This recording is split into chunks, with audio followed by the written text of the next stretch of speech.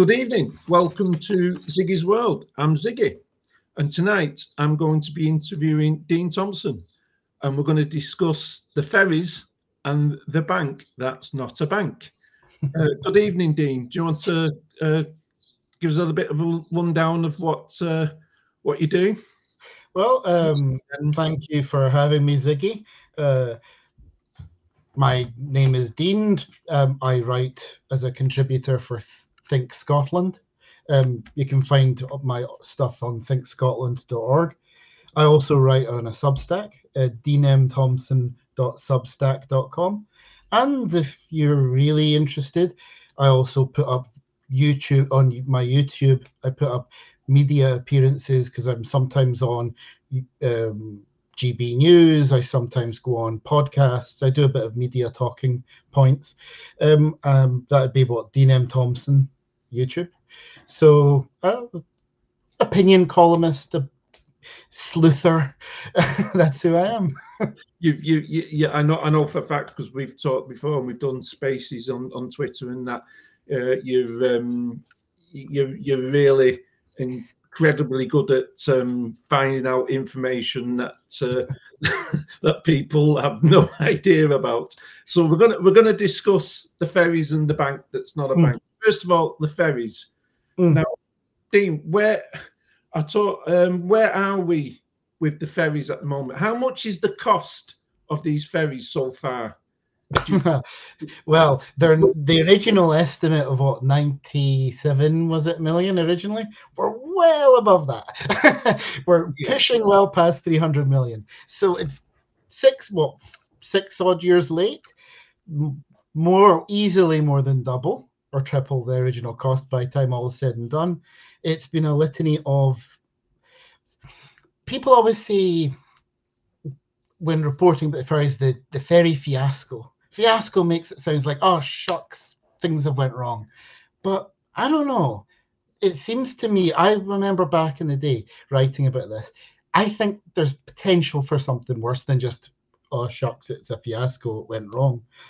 Because back in 2015, um, was it even further back actually? It was this all started, of course, with Ferguson Marine before the you know IndyRef happened, run up to IndyRef, the yard's going to shut. Oh dear, Salmond comes in, saves the yard, and then it becomes a political thing for the SNP heading into the the elections 2015, 2016 was it? Um, so this became a political thing, politics ahead of any kind of proper rigorous process. And we know in terms of Ferguson Marine, um, the bid they put forward did not meet minimum criteria. Like there was the taxpayer guarantee not included, even though it's a mandatory requirement. How on earth that happened, I would love to know one day. And they seem to have an insider track with their bid back originally. The other competitors did not have. And so there's a lot going on there that one day will eventually have to come out. But taxpayers have been the poorer for it, and our island communities have suffered because of it. Do you believe there's been, use the word corruption, or at least uh, some uh, Ill illegal activities going on surrounding the ferries? Well, the awarding originally, the original awarding of the contract certainly and of course, this is not just me, opinion writer on Think Scotland, doing a column on it. BBC have been reporting on this. I mean, it's out there. There are legitimate questions, and there is the allegations of potential wrongdoing in terms of how the contract ended up being awarded to Ferguson Marine when they could not offer the taxpayer refund guarantee they were that was not available. They could not offer that. Ferguson said they couldn't offer it. How they ended up with the contract, I don't know. And there are questions that will need to be answered about that. I'm sure people will all have reasonable explanations one day. yeah, with the, the latest report I've seen is the the, the wages. There's been what is it, 3.2 million uh, spent on wages which uh, without even captains of the the ferries because you need to have them in place six months before they mm. are going to service, uh, being paid um, a lot, a lot, thousands and thousands of pounds. This is taxpayers' money, isn't it? It's an yep. absolute, you know, it, it's it's an absolute scandal. You can go down the list. I mean, at one point, the Scottish government even, of course, they nationalised the yard, and then they bring in the fixer to turn the turn it around expert. He gets paid what over a million pounds, and he doesn't turn anything around. I mean, this is it's just a litany of disaster. And I mean, when you drill into the details of it, though, it get what really gets my back up is there's absolutely no learning curve here. I mean, because the LNG is a good case in point. Like you have a situation where the ferries are built, the wrong L, the wrong wrong piping for the LNG.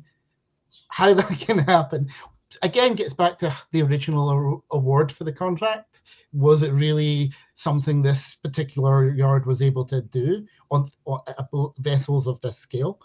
And now we know the Scottish government's finally admitted. Where is my note? Yeah, in regards to the liquefied natural gas, which is how these vessels, what the Glen Rosa and the Glen Sannox, they'll be powered by the LNG, and that'll be to lower cut emissions, lower diesel.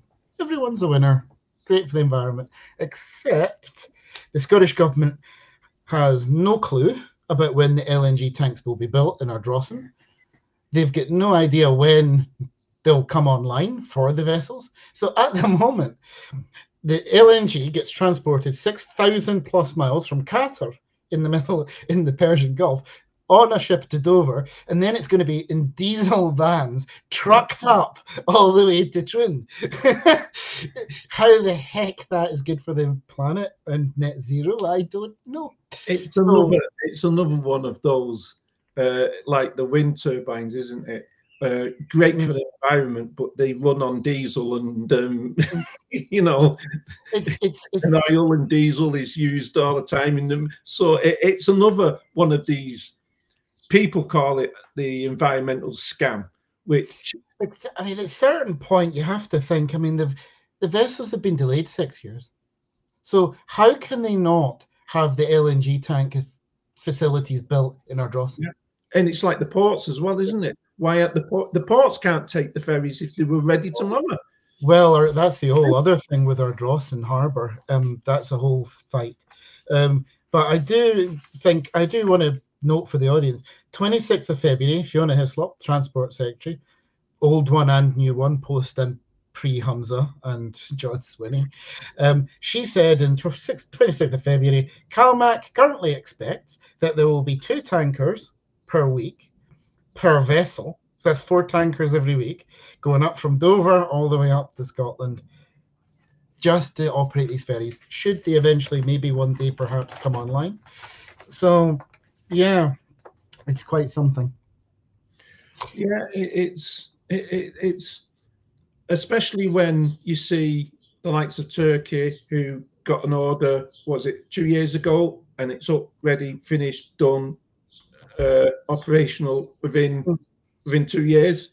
We were meant to be the um, the leading experts within Europe on building ships and ferries so, you know, is it just is it just this one um, company that's just not fit for purpose, or is it the whole industry that needs looking at?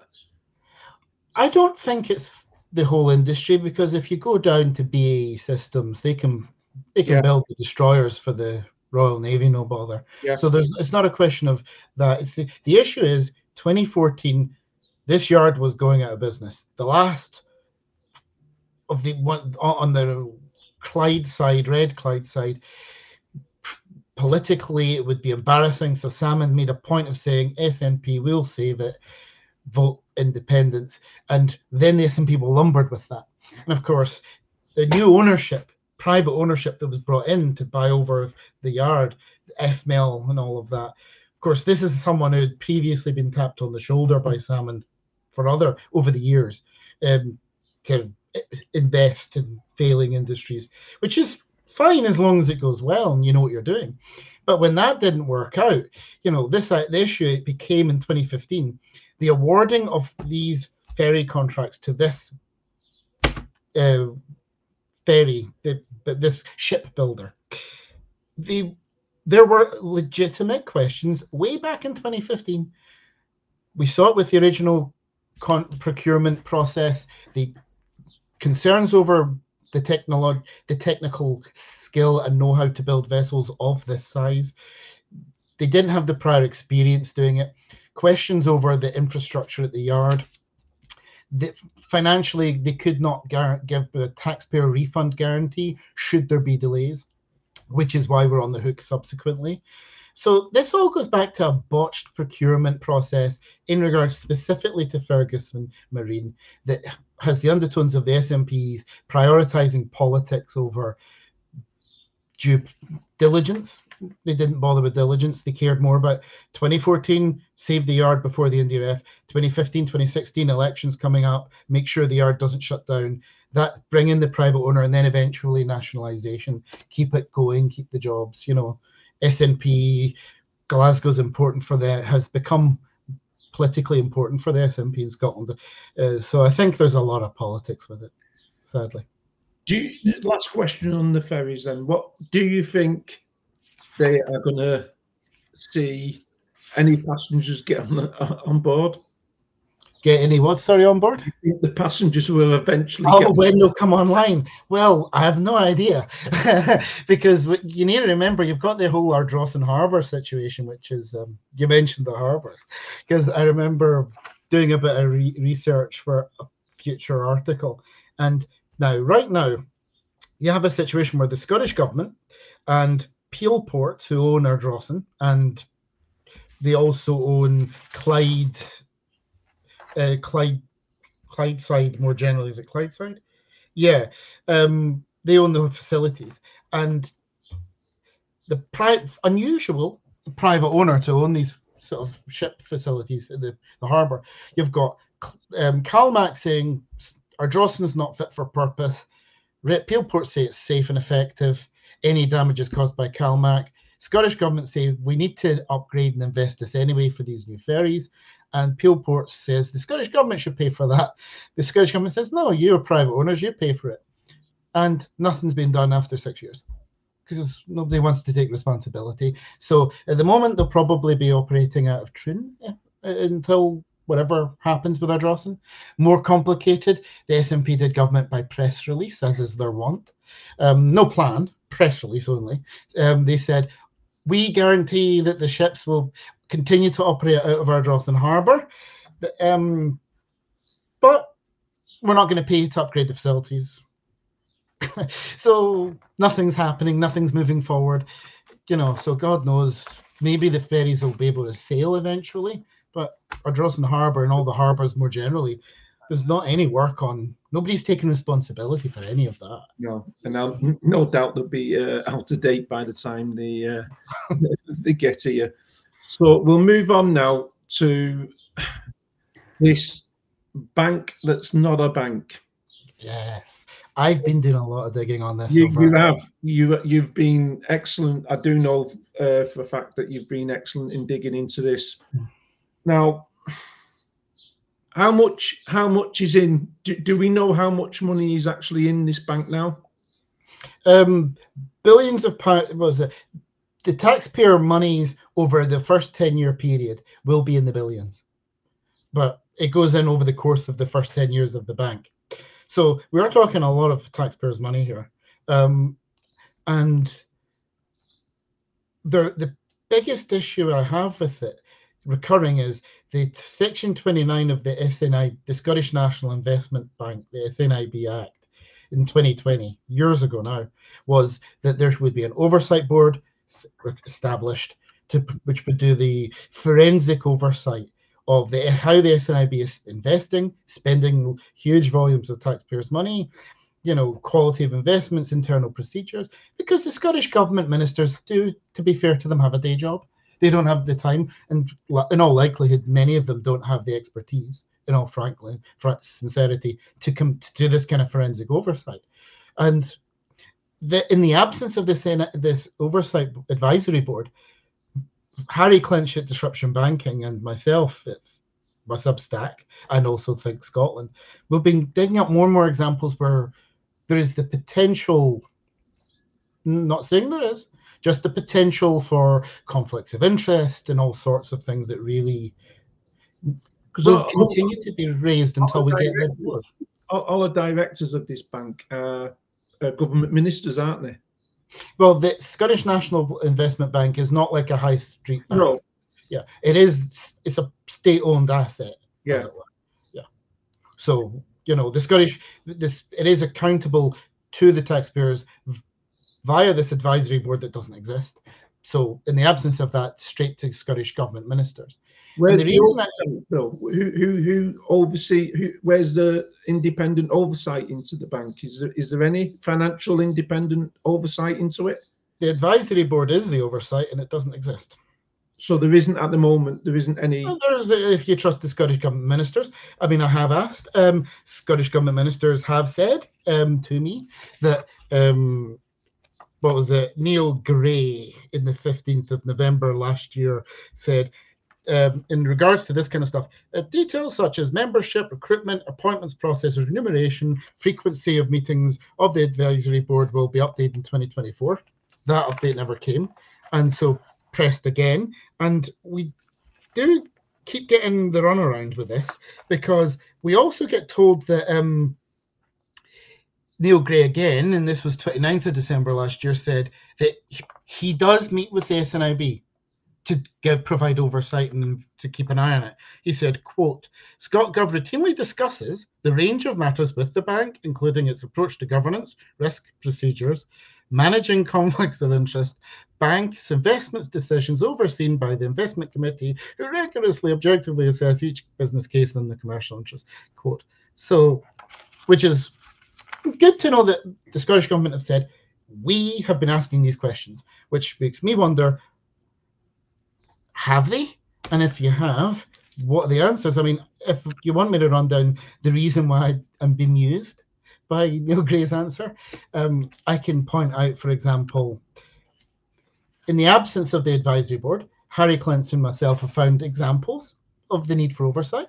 7.5 million pounds of taxpayers' money was lent by the SNIB to a company run by the brother of an SIB employee there could be very well be a good answer to that. I would just like to know the answer to that.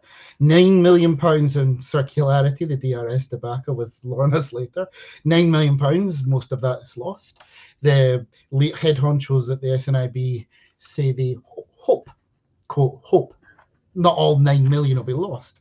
Five million pounds of our money was invested in a firm partly owned by an SNIB director.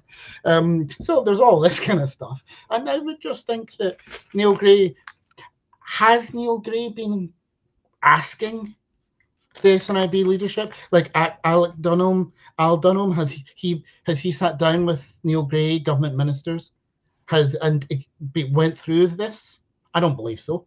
If they have, I've never heard it, seen any record of it, any any suggestion other than that one message on the 29th of de- December last year, claiming that he did. I mean, so it is alarming. It, it is a serious issue here. I mean, if we can keep, if I, do you want me to keep going on about this? Yeah, no, no, no. I'm, I'm yeah, yeah. Can, can I can go because the whole DRS thing is really fascinating the, to me. The, the, the, the, the issue that I have that I've mm. had since this began, which since this was uh, started, is uh, investment banks, mm. so to say, uh, it is always high. High. Uh, the the the the idea is high risk, high reward. Yeah. Yeah. Now, it is taxpayers' money you're gambling with. Basically, it, what it is, it's taxpayers' money you're gambling with, mm. and the record of uh, these people being good enough to put them into high risk that gets the high yeah. are not mm-hmm. very good. So we mm-hmm. are we are gambling millions and millions and millions of pounds, potentially yeah. billions of pounds on people that are not fit to uh, to be able to gamble that money, and it's taxpayers' money. Especially when we have a 1.5 billion black hole in public services. Yeah. This money can go to uh, hospitals or Mhm. education and things like that. Well, and I mean, seeing the returns. I think the first year they made a loss, didn't they? The- the, uh, yeah, there, the, the, I did notice, and I wrote a big piece um, on the Substack, uh, what I think last year, uh, about because I saw they did a big, big page advertisement blitz in the Scotsman and a couple of other newspapers, and the SNIB were saying. Uh, quote, "Ah, what was it? As we approach our third anniversary, a lot have, has been achieved for a startup, and we have even ever more clarity about the positive difference we can make. We have made 29 investments committing over 460 million pounds of our own capital, actually taxpayers' capital, but hey, let's not be pedantic, which has turned enabled a return of seven so 750 million pounds uh, for uh, us and other investors. So 1.2 billion committed uh, to the Scottish economy in three years. Now that's what their advertisement was boasting of, but you know that 460 million investment that they're boasting of uh, by the SNIB, the return on that, 2%, which is less than a current account, which a commercial bank offers savings of 5%. So you'd be better off having left money in the that bank. 460 million pounds of taxpayers' money in a in a current a commercial current account and got a 5% return rather than the 2%. So of course, let's be fair, SNIB is strategic long-term investments. You don't expect in big returns right away. High risk, high reward, like you said. But, But I would expect something more than two percent. But we need the, the big issue I have. See that that's the issue I have. This is we have a devolved uh, government. Call it a Mhm. government. I call it administration, who are meant to be looking after our public services. This is not in the scope of money that should be used uh, taxpayers' money that should be used. It should be used. Uh, I actually think this is outside of devolution, and it should be.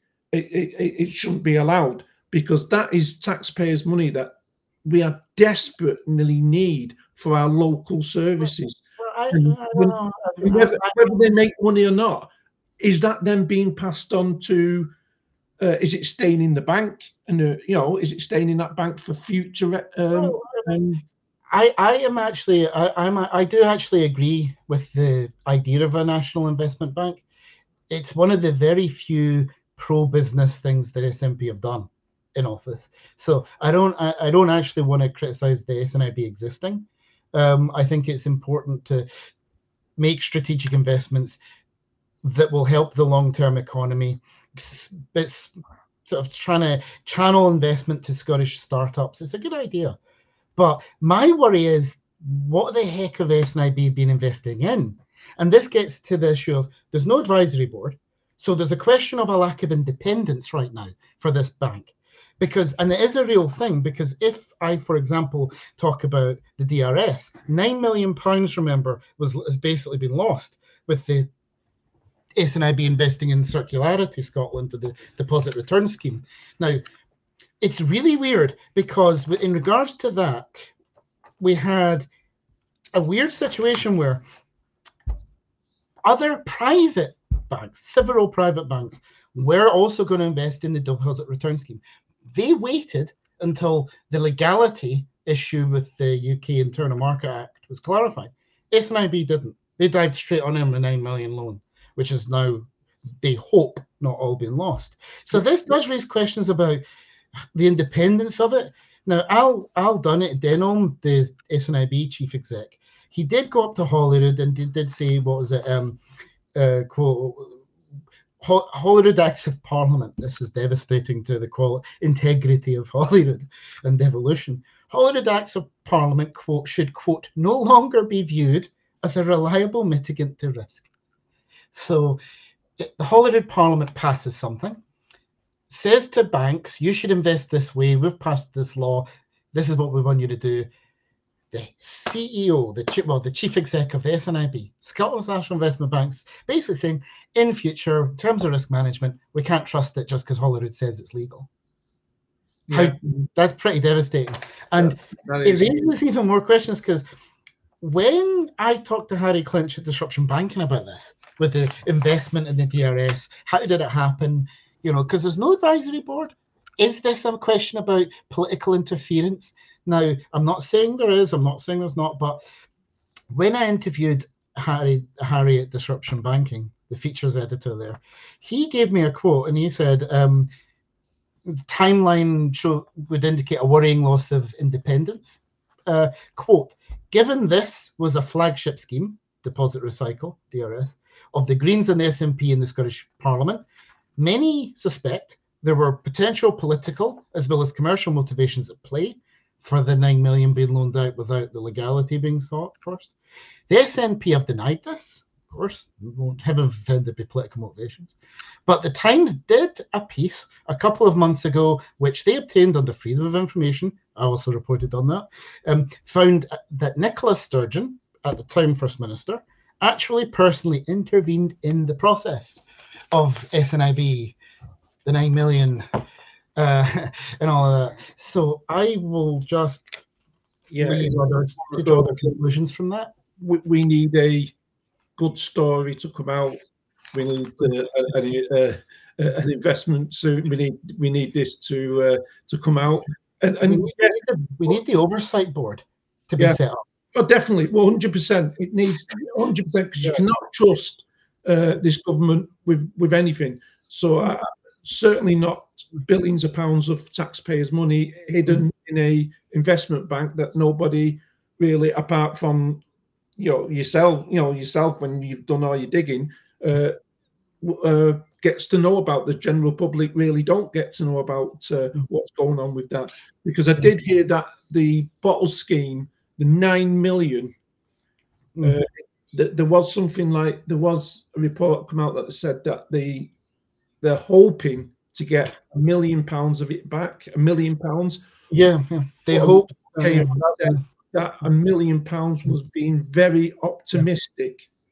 yeah, the the quote. I, mean, I remember watching that. It was the time because obviously they were dragged up to Holyrood to, to you know to the committees to answer for what they've been up to, and yeah, that was um chairman. Was it the chairman? I forget. Yeah. He said hope, you know, and so he's hoping they get they don't lose all of it, and the chief exec Al Denholm is saying, "Oh, but oh shucks, naivety. We we we thought risk management was fit copper bottomed because Holyrood was passing a law to say it's fine." Which you know, incidentally, to, I can kind of understand the naivety to an extent. If you're a national investment bank, Scottish government saying this law has been has been passed, we want you to loan to set up the deposit recycle. Other countries have a deposit recycle scheme. It's not the most absurd thing in the world. It's not like reinventing the wheel, but apparently it was beyond the Scottish government. And so, being in that position, I can kind of understand them taking a certain view of risk management. The question really becomes why did the SNIB make the 9 million, take that naive view, being generous with naivety is the assumption, when several private banks did not invest? I, They I- waited for the UK Internal Market Act issue to be clarified. And again, the the The absence of the advisory board, questions about the independence of the SNIB from politics and political decision making. I think the answer to that, Dean, is um, the get out a free card that they have with uh, with this and with everything else they do. It's uh, well, um, it was going ahead. Westminster blocked it. Uh, that's not our fault. It's Westminster's fault. So that must be again, it's Westminster's fault. That that'll be their get out of get out of jail free card that they will use. And you know they've used it. They're using it even today. I've heard where they're talking about um, the bottle scheme because that's come up again with a question from uh, Fergus Ewing in Parliament, and it's a uh, all we've all I've seen on Twitter all days the Greens and uh, the SNP coming out with, well, you know, this scheme was going to be world leading, fantastic scheme, uh, but Westminster didn't want us to succeed, so they blocked it. That Which is not which is not accurate, incidentally. It's not it at was all. a disaster. It was a disastrous scheme. That is why all the private companies waited for the legality of it because they knew.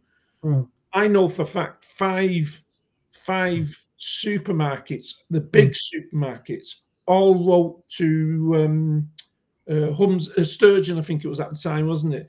All wrote yeah. to Sturgeon and said, this scheme is unworkable. It needs binned. We need starting mm. again. It's a disaster.